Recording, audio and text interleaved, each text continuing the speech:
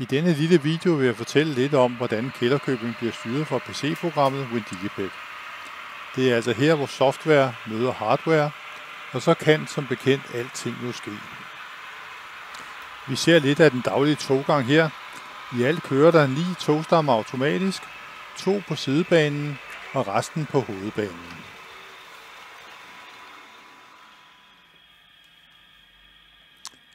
Her ser vi WinDigipad, og vi er i gang med at starte automatikken op.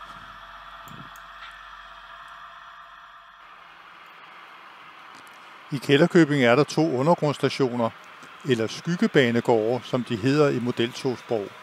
Der er to webkameraer, der overvåger disse.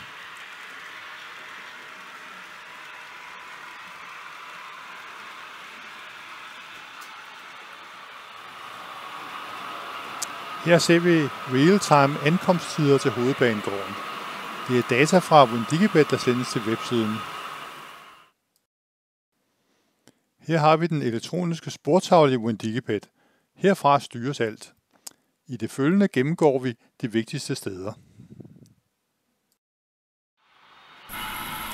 Hovedbanegården er centrum i Kælderkøbing. Der ankommer og afgår hele tiden tog til de to undergrundsstationer og til Bjergkøbing. Der er seks spor på stationen, to i hver retning på hovedstrækningen, og to spor, der fortsætter til en enkeltsporet bane til Bjergkøbing.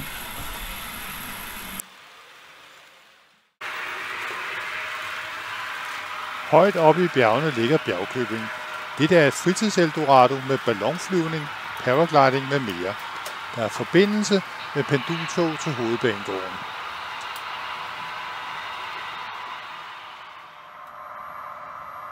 Togelevatoren består af syv spor på hver 1,40 meter.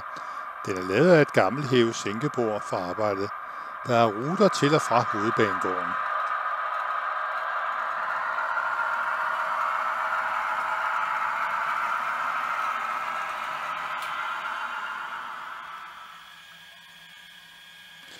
Det nyeste område i Kælderkøbing er værkstedsområdet til el- og diesellokomotiver. Skydebroen sørger for den rette fordeling af lokomotiver i remise og på opstillingsspor. I WinDigipad er der oprettet et program, der automatisk kan bytte lokomotiv fra hovedbanegården til remisen. Mere om det senere.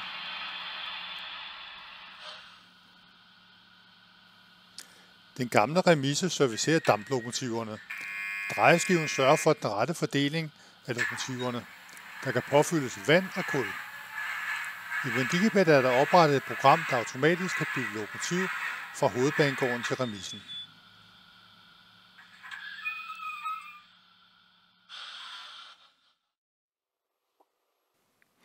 Hvis vi fra sporplanen bevæger os en side ned, kommer vi til alle de spændende funktioner til styring af lys, bevægelser, lokomotivskifte med mere. Disse er samlet i logiske og overskuelige grupper. Nogle af grupperne benyttes af den daglige drift. De kan nås via menupunkter. Andre benyttes ikke så ofte, typisk konfigurationer og parametre, der kan ændres her. Vi er tilbage på sporplanen. Lad os prøve menupunktet Lys i bygninger. Her kan vi tænde og slukke de enkelte lamper rundt i byen. De er samlet i syv logiske grupper.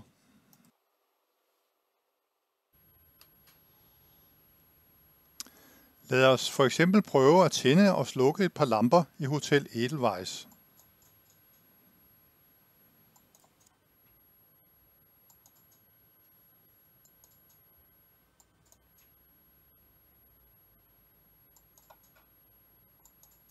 Fint.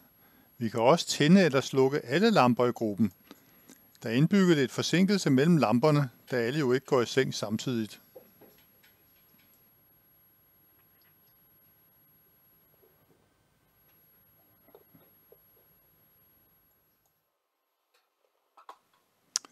Vi prøver nu at vælge menupunktet Lys i grupper. Her kan vi tænde og slukke for enten enkelte grupper, eller også for alle grupperne. Vi prøver at tænde lys for alle grupperne og ser, hvad der sker. Igen ser vi, at de tænder med forsinkelse.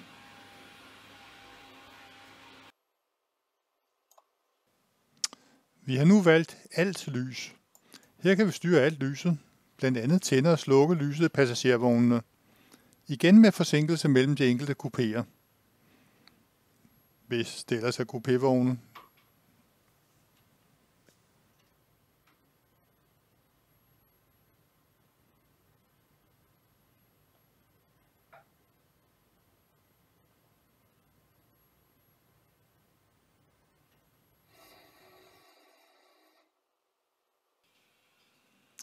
Frontlys på lokomotiverne kan vi også vælge at tænde og slukke her, og igen med forsinkelse imellem de enkelte lokomotiver.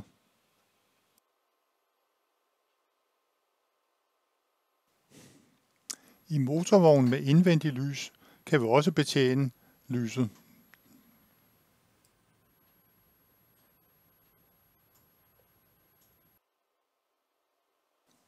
Lyset i modelbanerummet er Philips Hue, og det styres også fra Windigipet. Man kan skifte mellem nat og dag med et flot morgengry, og man kan skifte fra dag til nat med en smuk skumring. Vi ser dette om lidt. Her kan vi aktivere døgnrytmen i kælderkøbing. Lad os lige prøve at se på konfigurationsparametrene. Som vi kan se, kan vi vælge, hvor mange minutter dagen og natten skal være. Og vi kan vælge, hvornår morgengry og skumring skal starte. Herover Herudover kan vi vælge, hvad der skal være med i døgnrytmen. Vi kan vælge mellem de ting, vi har set, lyse bygninger, lyse vogne med mere.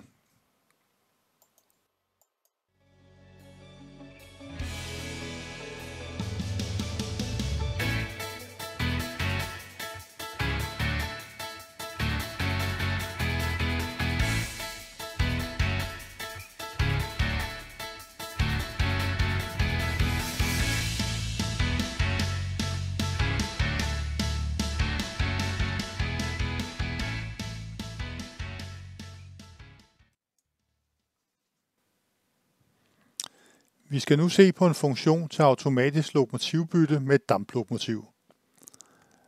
Et træt damplokomotiv står på hovedbanegården og skal skiftes ud med et frisk lokomotiv fra remissen. Det skal gøres helt automatisk. God tur!